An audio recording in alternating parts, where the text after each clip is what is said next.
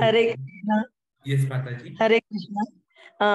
भगवान हमें मदद करते हैं। ये हमारा विश्वास है दृढ़ होता है। तो सच सच में भगवान हमें मदद करते हैं। और उसका उदाहरण मैंने खुद अपने घर में कई बार महसूस किया है। आ, मैं आप, आपको है मैं भक्तों को कहना चाह रही हूँ कि जब मैं घर से बहुत दूर थी तब मेरे बेटे का जब एक्सीडेंट हुआ, सच बोले तब भग, किसने लाके हॉस्पिटल में एडमिट किया, वो आज तक नहीं पता चला। लेकिन भगवान पे मेरा विश्वास है कि भगवान स्वयं बोलो या भगवान ने किसी को भेजा हो। और केवल और केवल एक पॉइंटिंग उंगली को कट करके और थोड़ा आँख को दर्द देके, वो बड़ा यदि हंसता हो, हंस बड़ा हाथ सा होता तो क्या करते? लेकिन भगवान को सेवा लेनी थी इसलिए थोड़े से इस पे भगवान ने आ, मदद करके आ, छोड़ दिया। तो हमें विश्वास होना चाहिए। और उस वक्त से मेरा ज़्यादा से ज़्यादा भगवान पर विश्वास आ, हो गया। और मैं हर किसी को यही चाहती कि हम सब विश्वास करें ताकि हम भगवान हमें मदद करें और हम भगवान के धाम जाने के लिए सक्षम हो जाए। हरे कृष्ण दंडोत प्रणाम हरे कृष्ण हरे कृष्ण कृष्ण कृष्ण, हरे हरे। हरे राम हरे राम राम राम, हरे हरे। हरे कृष्ण, और कोई प्रश्न या कोई टिप्पणी? तो अब सबसे विनती है कि यह जो मौका है मिला हुआ, कृष्ण नाम के स्मरण का और कृष्ण नाम के साथ कृष्ण को अपनाने का उस मौके को गलती से भी मत छोड़िए। हम सबने कहीं ना कहीं दुख सहे है, तकलीफ़ सही है। लेकिन जैसा कृष्ण ने यहाँ अर्जुन को बताया था, ये सब तकलीफें क्यों है? क्योंकि हम हर चीज़ को शारीरिक स्तर पर महसूस कर रहे हैं। हर रिश्ते को हम अपना रिश्ता समझते लेकिन वह इस शरीर का रिश्ता होता है। और हम तो ये आत्मा है, जिसका इस शरीर से केवल एक ही संबंध है। कि हम अभी इस शरीर में सिनर कैदी। तो जिस दिन हम इस सोच में आ जाएँगे तो हमें महसूस होगा कि हमें इस शरीर से बाहर निकलना ज़रूरी। क्योंकि कोई भी कैद में हमेशा रहना नहीं चाहता तो वैसे ही शरीर में हमेशा रहने के बारे में जो सोच रहे होंगे, वे सही में वैसे भगवत गीता में बोला गया है भागवतम में बोला गया है तो यदि किसी एक्सीडेंट में, हादसे में ये शरीर त्यागना भी पड़े तो भी आपकी तैयारी होनी चाहिए ऐसी कि उस वक्त भी आपको कोई याद आए तो केवल कृष्ण याद आए। अंत काले च मामेव स्मरण मुक्तवा कलेवर कृष्ण बोलते हैं कि यदि अंत काल में आप मुझे याद कर लो। तो आपको इस भौतिकता में जन्म, मृत्यु के चक्र में फिर से फंसने की ज़रूरत नहीं पड़ेगी, क्योंकि आप डायरेक्टली मेरे पास आ जाओ।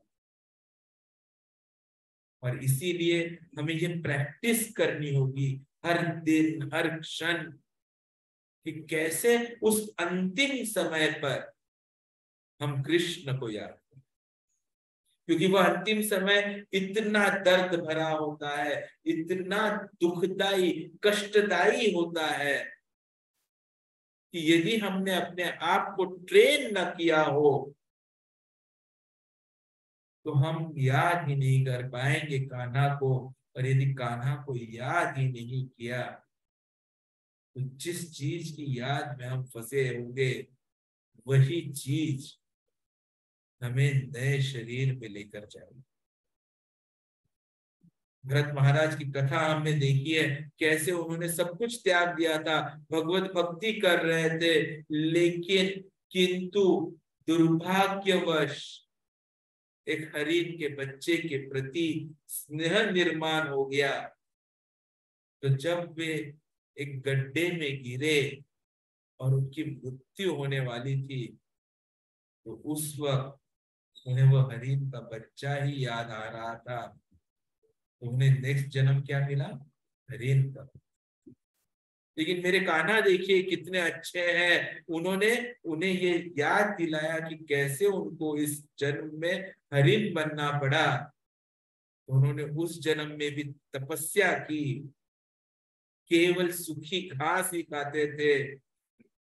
किसी आश्रम के बाजू में ही रहते थे, ताकि भगवत भक्ति के बारे में सुनते रहे, कृष्ण कथा सुनते रहे। और फिर जब हरिण का शरीर त्यागा तो उन्हें फिर से मनुष्य शरीर प्राप्त हुआ। लेकिन उन्हें सब याद था भगवान की दया से तो उन्होंने बिल्कुल सब कुछ छोड़ दिया। एकदम पागल की तरह रहते थे, बिल्कुल नहीं बोलते थे। और इसलिए उन्हें क्या बोलते थे जड़ पर जड़ मतलब पागल। लेकिन वे असली ज्ञानी थे। तो ये बहुत ज़रूरी है कि हम अंतिम समय पर केवल कृष्ण को ही याद करें। यदि हम उस वक्त कृष्ण को याद कर पाएँगे तो हमें फिर से कोई शरीर धारण करना नहीं पड़ेगा।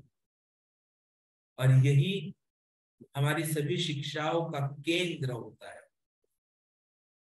हम ये जो जपा करते हैं, हम ये जो शास्त्रों का पठन करते हैं, हम ये जो महोत्सव मनाते हैं, कीर्तन करते हैं, वो इसीलिए ताकि निरंतर कृष्ण को याद रखने की हमें प्रैक्टिस हो जाए। और जब हम कृष्ण को निरंतर याद रख पाएँगे तो ही संभवतः उस अंतिम क्षण पर हमें कृष्ण याद रहे अजामिल जगन्नाथ बलदेव की बद्रा मैया की जय। अजामिल की कथा में भी हमने वही देखा यह तो उसका पहले वे जो अच्छे ब्राह्मण थे, इसलिए उन्हें यह जो गुरु थे, उन्होंने बताया कि उनके छोटे बच्चे का नाम नारायण रख और इसलिए उन्होंने अपने बच्चे का नाम नारायण रख लिया। लेकिन बाद में इतने पाप कर्म हो गए थे, जब मृत्यु आई और यमदूत उन्हें लेने आए डर गए यमदूत को देख के। वो डरावना उल्लेख आता है भागवतम के उस कंद में। यमदूत कैसे दिखते हैं इसके बारे में? और डर के मारे वे अपने छोटे बच्चे नारायण को पुकार रहे थे कि भाई आओ, मुझे बचा। नारायण नारायण कि उस वक्त इतने वो भयावह स्थिति में लेकिन देखिए, कान्हा कितने दयालु है।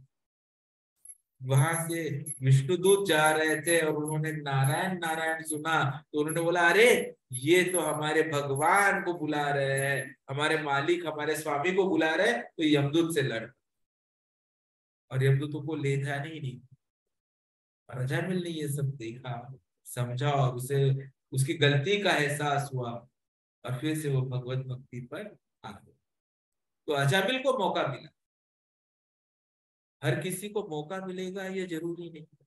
हो सकता है जो माता जी ने यह कथा सुनाई, उस वक्त उनके पुत्र को भी यह मौका मिला है कि वह अब कम से कम भगवत भक्ति के राह पर आगे बढ़े और समस्याओं से दूर हो जाए। तो हर चीज़ में अच्छा ही देख। हर चीज़ में कान्हा ने कुछ ना कुछ अच्छा किया है। तो उस अच्छाई को समझिए, विपदा को अपनाइए क्योंकि विपदा केवल कृष्ण का प्रसाद है। उसका ग्रहण कर लीजिए, कोई दुख नहीं होगा, कोई समस्या नहीं होगा। हरे कृष्ण। वाचा कल्पतरुभ्यश्च कृपा सिंधु वचन पतिता नाम पावनेभ्यो, वैष्णवेभ्यो, नमो नमः।